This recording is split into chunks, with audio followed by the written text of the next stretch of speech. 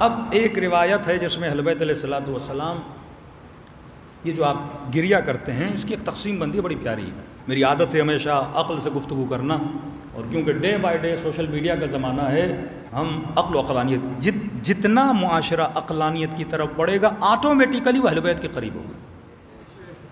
یعنی اس سے کوئی کسی کو روک نہیں سکتا۔ ہے نا؟ جا الحق و قل باطل، ان الباطل باطل نے جانا ہے، جہالت نے جانا ہے، عدالت نے آنا ہے۔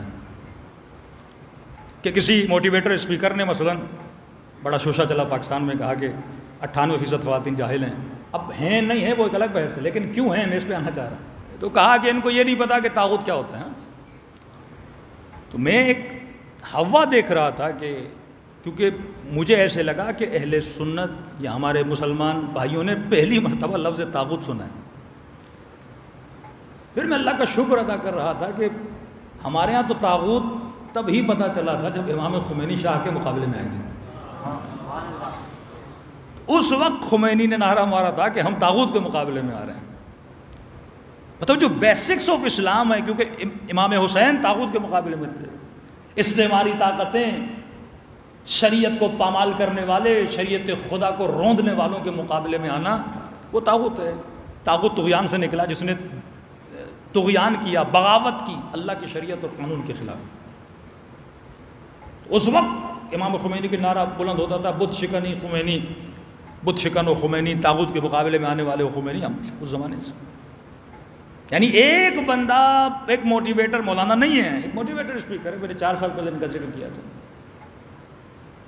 بڑی محنت ہے اس بندے کی، یونیورسٹیز میں جا کے نوجوانوں کو موٹیویٹ کرتا ہے۔ حالانکہ یہ کام مولویوں کا ہے، مفتیوں کا ہے، لیکن مفتیوں کو فرصت نہیں حلوے کھانے سے۔ ان کو فرصت ہی نہیں ایک دوسرے کو فتوے دینے سے۔ مسلم معاشرے کو سب سے زیادہ اگر کسی نے نقصان دیا مولویوں نے دیا ہے۔ اکثریت معاشرے حصے کو۔ قتل امام حسین کا فتویٰ مولوی نے دیا۔ کفر کے فتوے انہوں نے دیے۔ بدعت کے فتوے انہوں نے دیے۔ شرک کے فتوے انہوں نے دیے۔ مدینت الرسول میں جاتے ہو یہ مینڈکوں کی طرح گھومتے رہتے ہیں کہ یہ شرک ہے، یہ بدعت ہے، یہ شرک ہے، یہ بدعت ہے۔ کبھی بھی محبت کا درس نہیں دیا۔ جہاد کا فتویٰ دے کے پورے پاکستان کو، افغانستان کا دشمن بنا دیا۔ اس قدر افغانی نفرت کرتے ہیں پاکستانیوں سے، آپ کی سوچ ہے، ہم رہے ہیں ان کے ساتھ۔ پوری قوم کے برین کو برین واش کر کے آج کے پی کے اور بلوچستان کا پورا بیٹ اس طرح نہیں تھا۔ اسلام کو داڑھی اور صرف نماز تک محدود کر کے اور ان کے دلوں میں اپنے مسلمان بھائیوں کے لیے نفرت کو بھر دینا۔ اب ایک بندہ صحیح بات بھی کرے، وہ سارے اس کے مخالف ہو جاتے ہیں۔ کیونکہ کسی کو آئینہ دیکھنا اچھا نہیں لگتا۔ پہلا اصول امام حسین نے بتایا، لے عامر بالمعروف انہ المنکر۔ کشیو یاد رکھنا، کامیاب تب رہو گے جب ایک دوسرے کو اپنی برائیاں بتاؤ۔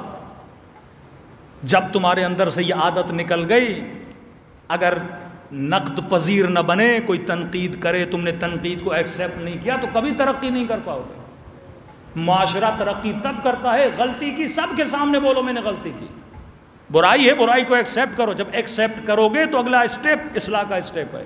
ہور ہور نہیں بنتا جب تک غلطی کو نہ مانے۔ المعروف میں امر تم بے ون نہیں تم ان بل منکر میں نہیں تم ان بولا معروف ہو جو آپ نے کہا، منکر وہ جس سے آپ نے روکا کہ ایک دوسرے کی کیا کیا کرو، اصلاح کیا کرو۔ بہت اچھا سوال اس جوان نے مسلم معاشرے سے کیا۔ معاشرہ کیوں تباہ ہوا؟ کیونکہ آپ نے اول الامر کسے مانا؟ معصوم کو مانا۔ یعنی ان کے پڑھے لکھے مفتی ممبر پہ آ کے کہتے ہیں، رسول کی حدیث ہے، اگر کوئی حاکم بن جائے، چاہے وہ کالا حبشی ہو، چاہے اس کے بال کشمش جیسے ہو چاہے فاسق ہو، تمہیں حق نہیں اس کے خلاف تلوار اٹھا یہ ڈائریکٹ اٹیک کس پر ہے؟ حسین ابن علی پر۔ چاہے فاسق ہو چاہے کالا حبشی غلام ہو، کیونکہ عرب مسلمان تو بن گئے تھے، لیکن تعصب ابھی تک ختم نہیں ہوا تھا کہ کالا ہمارا حاکم کیسے بن سکتا ہے۔ اور یہ نبی کہیں گے مطلب اپنی حدیث میں اظہار انزجار کریں گے کسی کالے سے، کیونکہ عرب کالوں سے نفرت کرتے تھے اور غلاموں کو خرید کے رسول نے آزاد کیا۔ یہ نماز کے بعد جو آپ مسافیہ کرتے ہیں، اس کا ون آف دا ریزن یہ ہے کہ نماز میں بیٹھ تو گئے تھے، پر کہتے تھے کالے سے ہاتھ نہیں ملائیں گے، غلام ہے ہمارا۔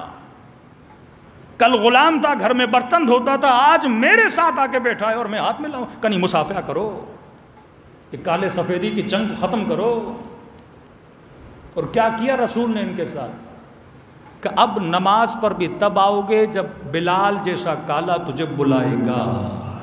بڑے چالاک تھے، پسند نہیں تھا۔ بلال، مؤذن مطلب وہ مین آدمی ہے نا، وہ کہے گا، یا صلاح تو آئیں گے نماز پہ کہتے تھے، یا رسول اللہ، تھوڑا توتلا ہے۔ کوئی اور نہیں ملا؟ آپ کو بدل دیں۔ کہ اشہد نہیں کہنا آتا اسحد کہتا ہے۔ اشہد اللہ الہ الا اللہ۔ اشہد ان محمد رسول اللہ۔ بدل دیں اس کو۔ نبی نے کہا، نہیں، اللہ کے لیے بلال کا سین بھی شین ہے۔ سین و بلاد شین۔ اس، اللہ کے لیے اس کا سین بھی شین ہے۔ انتظار تھا کہ محمد کب دنیا سے جاتے ہیں۔ خود اسٹڈی کریں کہ جناب عمر کو جس نے مارا وہ کون تھا؟ اجمی تھا، ایرانی تھا۔ فتوحات ہوئی نا، ایران فتح ہوا، غلام بھرمار بھرمار بھرمار غلاموں کی زکوٰۃ جب ملتی تھی، جزیہ دیا جاتا تھا۔ جزیے میں بھی تفریق تھی کہ عرب کو اتنا ملے گا، عجم کو اتنا ملے گا۔ جب ناانصافیاں شروع ہوئیں، پھر ان کی دکانیں ہوتی تھی بازار میں، جس طرح سعودی عرب میں عرب ممالک میں آپ ظلم دیکھتے ہیں، اجمیوں کے ساتھ عربی کرتے ہیں، وہی وہی حال تھا۔ آتا تھا کوئی اس کے دکان کو چھیڑ کے چلا جاتا تھا، کوئی کیا کرتے تھے؟ اس نے وہ اپنی کاروائی کر دی۔ پھر جناب عثمان کے زمانے میں آتے ہیں، یہی حکومت میں اتنا پیسے کا زیادہ آنا، اختیارات کا غلط استعمال لوگوں سے بڑھ گیا، تو ایک ٹولہ مسلمانوں کا اٹھا۔ اس کو ذرا اسٹڈی تو کرے کہ ایک مسلم معاشرے میں دیکھیں، خلیفہ کشی، خلیفے کو مارنا کب شروع ہوا؟ دوسرے خلیفے کے زمانے سے۔ ابو بکر تبعی موت دنیا سے چلے گئے۔ عمر کو مارا گیا، عثمان کو مارا گیا، امیر المومنین کو قتل کر دیا گیا۔ آگے اب جاتے ہیں، قتل ہی قتل ہے، قتل ہی قتل ہے۔ ایک اینگل سے اٹھتی ہے، دوسرے اینگل پہ کیسے جاتی ہے؟ کیونکہ عدالت جب سوسائٹی میں نہیں رہتی، پیسہ جب سوسائٹی میں زیادہ آ جاتا ہے، پھر ٹارگٹ کلنگز بھی ہوتی ہیں، سب کچھ ہوتا ہے، پیسے کا غلط استعمال۔ یہ مکتب مکتب عقل، جس میں کالے اور سفید کی تفریق نہیں تھی، تعصبات کو مٹایا گیا۔ کہ جناب جون کیا ہی کرم ہے میرے آقا حسین کا کہ کہا کہ مولا حسین، کہیں ایسا تو نہیں میرا رنگ کالا ہے۔ لوگ کہتے ہیں تیرے بدن سے بو آتی ہے، مجھے نہیں لڑنے کی اجازت دے رہے پیار آیا امام حسین کو فوراً سینے سے لگایا۔ فرمایا، ہمارے مکتب میں ایسی سوچ نہیں ہے جو تو سوچ بھی کیسے سکتا ہے؟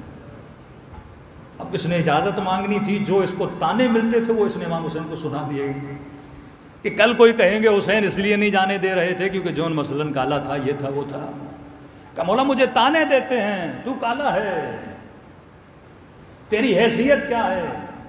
اس وقت جب شہید ہوا تو امام حسین نے دعا کہ اللہم طیب ریحہ اللہم بیض وجہ کہتے جب لاشوں کو اٹھایا جا رہا تھا، جتنی خوشبو جون کے بدن سے آ رہی تھی۔ اسپیکر نے ایک بیسک کوشچن کیا۔ اب ہم کرتے ہیں تو اثر نہیں پڑتا، ان کا اپنا کرتا ہے نا تو ایک واویلا مچ جاتا ہے۔ ایک غلط تفسیر کے الامر وقت کا حاکم ہے۔ پھر کہا کہ نبی کے یہ جعلی حادیث جو بنو میہ کے زمانے میں گاڑی گئیں اپنی حکومتوں کو مضبوط کرنے کے لیے۔ جس طرح کے کرپٹ حکمران، دھاندلی زدہ حکمران پارلیمنٹ عوام کے لیے نہیں، اپنے کیسز کو ختم کرنے کے لیے، عوام کے لیے نہیں۔ اسی طرح لوگوں کو بلایا گیا دھڑا دھڑ حدیثیں دھڑا دھڑ حدیثیں، ستر ہزار حدیثیں۔ نقل کی کسی نے کہا، بھائی اتنا نہیں کرو کہ کل لوگ کسی بات پہ یقین ہی نہ کریں۔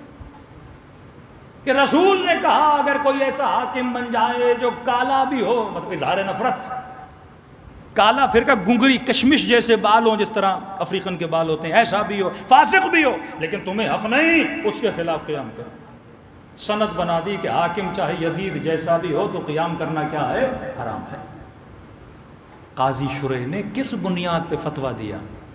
اتی اللہ و اتی الرسول و اول الامر منکم، اللہ کی اطاعت کرو، رسول کی اطاعت کرو اول الامر کی اطاعت کرو، کہ آج صاحب امر مطلب صاحب حکومت کون ہے؟ یزید ہے۔